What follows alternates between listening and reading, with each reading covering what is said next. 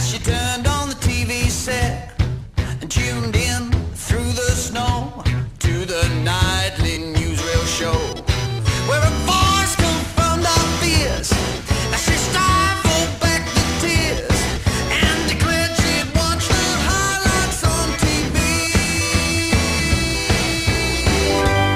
Count to three, I'll be back home.